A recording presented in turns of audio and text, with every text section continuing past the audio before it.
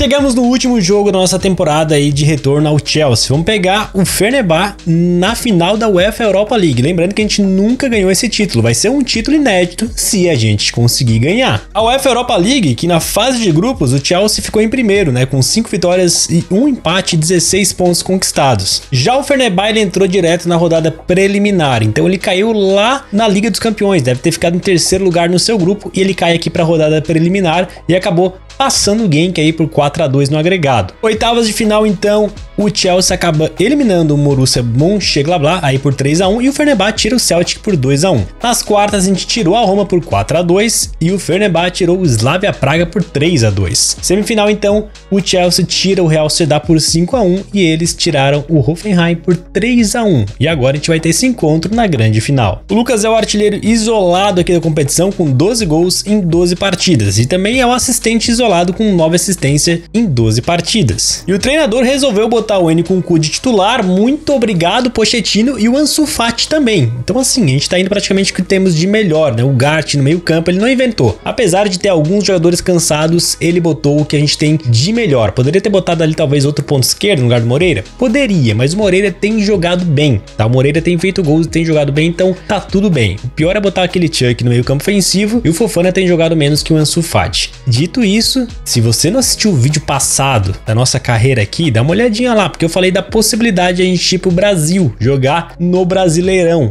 em algum time. Vai ser um pouco difícil de eu fazer aqui, mas daria para tentar instalar um mod no PC e pegar o nosso jogador e replicar lá, tá ligado? E a gente continuar nossa história lá no Brasileirão. Passar talvez algumas temporadas, tentar conquistar Brasileirão, Mundial, de clubes, porque se não me engano no mod tem isso. Então é uma ideia que eu tô pensando, mas eu gostaria de saber aí de vocês, né? Comentem aí o que, que vocês acham sobre essa ideia. Dito isso, vamos para o jogo para a grande final da UEFA Europa League.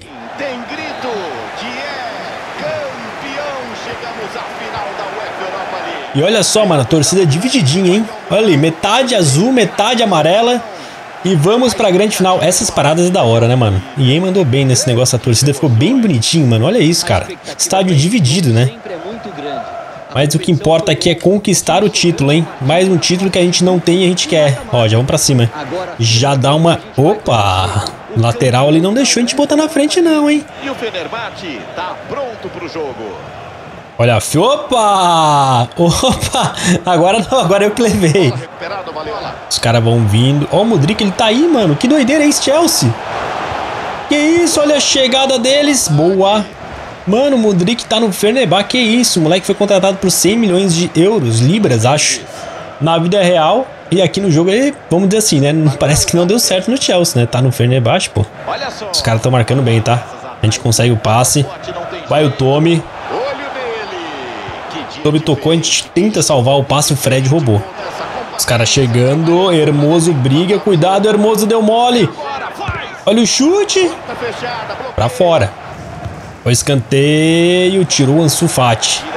A gente já domina girando bem. Os malucos estão dando a vida, tá? Não estão deixando a gente correr não, ó. Vem o Lucas. Traz pra dentro. Tocou bem, Ansu Fati. Vai ele com o cu. Ele meio que demorou, mano. Ele demorou pra entender a jogada. Boa bola agora do N com o cu. Lucas, ajeita no Ansu Fati. Não deu. Linda roubada, hein? Agora. Manda no Moreira. Ansu Fati levou com ele mesmo. Vamos ver que o Chelsea vai aprontar.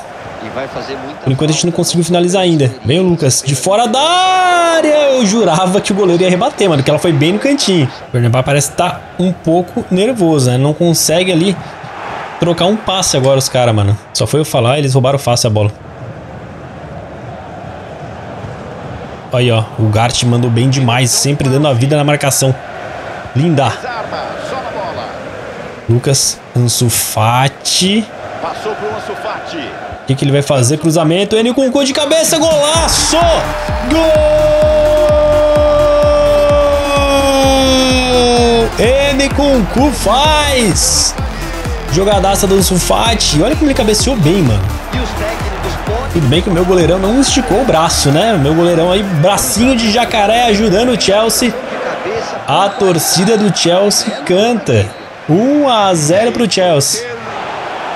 Olha o cruzamento, tirou Nuno Mendes. Martel. Ficou com o Fred a bola, hein? Ficou com o Fred, fica com o Lopes. Chelsea todo fechadinho, ó. Tá todo mundo atrás. O Sufati é o mais adiantado e tá aqui perto também. Boa, Nuno Mendes. Cruzamento. Olha o cabeçada. Tirou. Quase deu pra gente ainda, velho. Quase.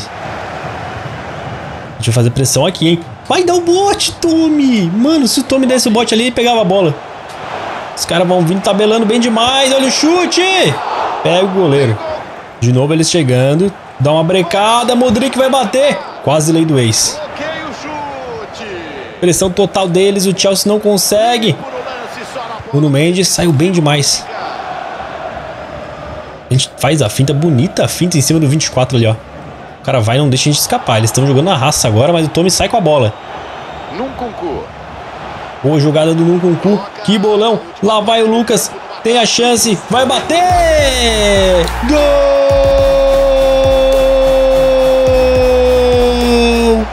2 a 0 pro Chelsea. E foi o que eu falei para vocês, hein, amigos. O time deles veio pra pressão total no segundo tempo, porque eles precisam do gol.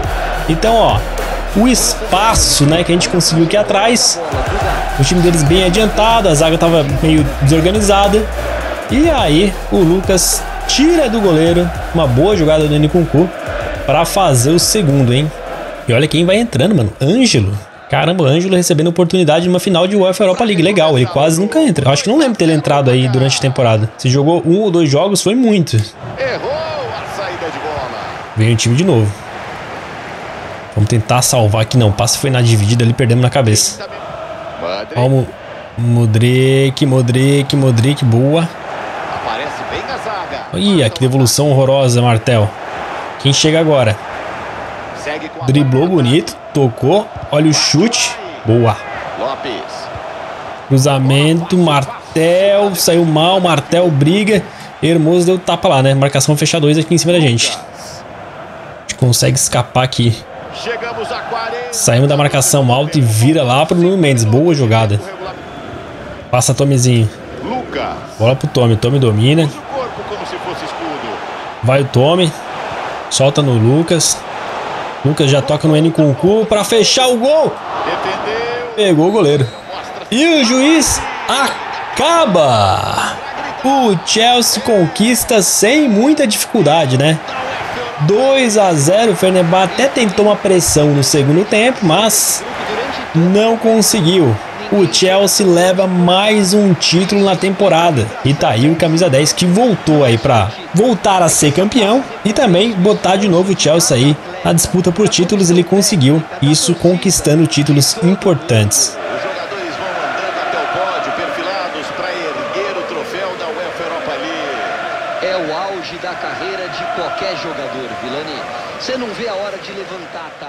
E é campeões, tá aqui oficial, né? Do lado ali do, do título, a fotinho de terno, né? Fotinho para botar no porta-retrato e guardar aí pro resto da vida. Cara, temporada em alto nível de Cordeiro e Chelsea acaba em prêmio, né? Aqui falando que ele foi jogador da temporada da Premier League. Cara, foi uma temporada sensacional, né? A gente vai dar uma olhada nos números aí agora. Mas antes tem a festa do título com os torcedores, né?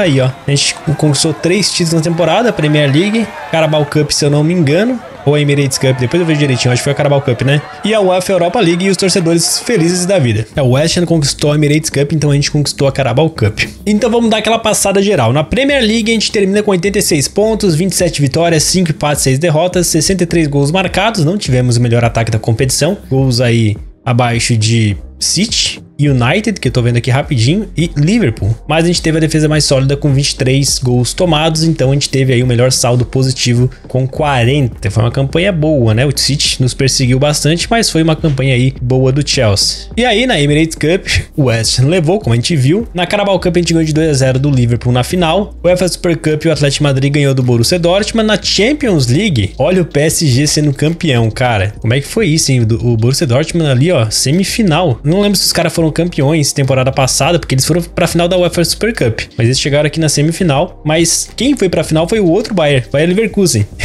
e o PSG ganhou deles na final. Na UEFA Europa League deu Chelsea, como a gente viu, e na Conference League deu Manchester United contra o Monza. E bom, olhando aqui a artilharia, o Lucas foi artilheiro isolado da Premier com 32 gols em 38 jogos, e na assistência ele também foi o maior assistente com 18, né, na frente do Foden que teve 14. Na Emirates, o Lucas foi o artilheiro com 9 gols em 4 partidas, e quem teve mais assistência foi o Kim do West Ham e também o Martel do próprio Chelsea. Na Carabao Cup, o Lucas foi o artilheiro com 8 gols em 6 partidas e terminou em segundo aqui na, na parte da assistência, né? O Zinchenko deu mais assistência com 3, um a mais que a gente também. Torneio de pré-temporada, o Lucas foi o artilheiro e na assistência o N Kunku. E Champions League, olha só, tivemos um empate na artilharia. O não conheço ele do Mônaco. E o Gavi, sim, o Gavi foi artilheiro também com 8 gols. Que doideira, né? O Mbappé ali, ó, com 7 e o ADMI com 7 também ali, terceira e quarta posição. E na assistência tivemos aqui o Berenguer, do Bayer Leverkusen, empatado com o Cynic. Eu não sei que time é aquele. Na UEFA Europa League, Lucas, artilheiro com 13 gols em 13 partidas e também o maior assistente com 9 em 13 partidas. E na UEFA Conference League, o Rashford foi o artilheiro com 8 gols e o Lopes aí o maior assistente. Olhando então estatísticas da temporada, mano, olha isso, 60 61 partidas, 62 gols marcados, inacreditável, né? Que coisa linda. Terminamos com uma nota média de 9.9 e 31 assistências, cara, que números impressionantes, hein? Que que é isso, cara? É muita assistência e muito gol marcado, né? Bizarro. O Moreira foi o vice-artilheiro do time com 13 gols, o Fofana decepcionou, ao meu ver. Eu esperava muito mais dele. Ele começou bem, mas não se manteve tão bem, apesar de ter participado bastante, né? 12 gols e, 12, e 11 assistências. O cara que eu critiquei muito também, teve aí 8 gols gols marcados e 5 assistências, até que ele também participou bastante. Inclusive, ele tem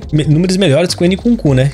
Doideira. O Ansu Fati 6/6, temos também o Hermoso aparecendo bem. Infelizmente não jogamos com o Neymar, né? Cadê o Neymar? Cara, o Neymar simplesmente não jogou nenhum jogo. Cara, é o único, acho que foi o único, tá? Cara, bizarro, porque esse maluco aqui, ó, ele tá emprestado Palmer. Então ele não tava no time na temporada. O Neymar não jogou um jogo sequer. Caramba, mano, o Pochettino pegou um ódio dele mortal, né? E ele tem um veral até aqui, ok, o Moreira começou com 79, se eu não me engano, até 78, eu acho. Mas o Neymar simplesmente não foi relacionado para nenhum jogo. Até esse zagueiro de 75 jogou dois jogos. O goleiro reservaço de 18 anos jogou dois jogos. Ângelo já tá com 83 de classificação geral, o Ângelo, mano, olha isso. Mas só jogou três jogos o Ângelo. Williams, cinco jogos. Mano, todo mundo recebeu oportunidade, menos o Neymar. Que bizarro isso aqui, cara. O Sterling jogou nove partidas, só pra vocês terem uma ideia. Dava pro Ney jogar, hein? Caramba, mano. A gente termina aqui então com um valor de transferência de mercado de 208 milhões de euros, tá? E os nossos números total na carreira: 291 jogos, 216 vitórias, 35 empates, 40 derrotas, 248 gols marcados e 161 assistências. A gente nunca foi expulso. Nessa temporada a gente foi 17 vezes para a seleção da semana, 7 vezes o melhor jogador do mês e tá ali o prêmio de jogador do ano, que é no caso referente à Premier League. A gente foi jogador do ano da Premier League. Ganhamos 4 títulos de liga no total, né?